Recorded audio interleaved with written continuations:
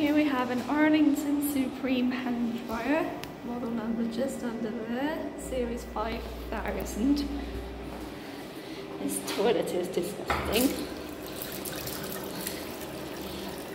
Let's test this thing out.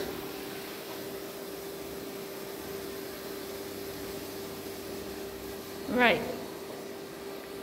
It's not even working. terrible these toilets are. Epic fail, that's it.